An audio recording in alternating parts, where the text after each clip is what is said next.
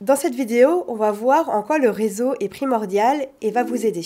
Bonjour, je suis Laetitia Siaka, je suis chargée emploi au sein du réseau alumni de l'Université de Strasbourg.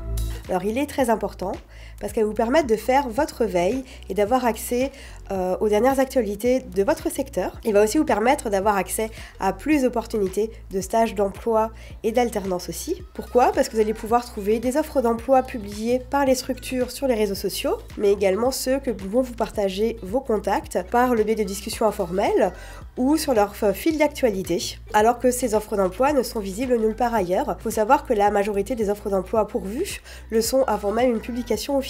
C'est pourquoi le réseau, il va être là pour vous donner cette information d'avant-première, un peu comme un pass VIP. Le réseau va aussi vous permettre euh, de vous faire recommander, vous faire recommander par vos, euh, contacts euh, auprès des RH et des responsables hiérarchiques. C'est un vrai plus dans votre candidature. Pour agrandir votre réseau au-delà du cercle proche, il vous faut d'abord bah, rencontrer des personnes. Vous pouvez par exemple les rencontrer lors d'événements professionnels de type conférence, ou à la fin il y a souvent des moments conviviaux. Il faudra aussi bah, créer un profil sur les réseaux sociaux facilitera euh, le démarchage, euh, de voir de nouveaux profils. Pour ça, petit tips, vous pouvez aller euh, sur l'annuaire du réseau alumni, vous allez trouver très facilement les diplômés de votre secteur. Je vous conseille aussi d'avoir le réflexe de rajouter chaque personne que vous allez rencontrer dans un cadre professionnel, de les rajouter dans vos contacts sur les réseaux sociaux pour garder un lien avec eux.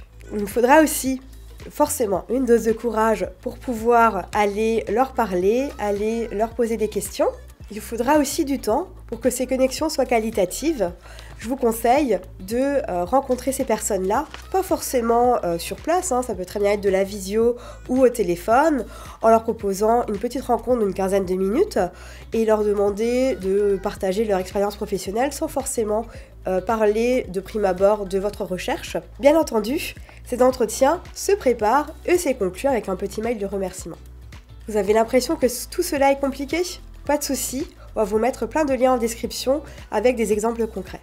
Le plus dur, c'est d'oser se lancer. Une fois le premier pas passé, vous verrez tout cela deviendra beaucoup plus simple.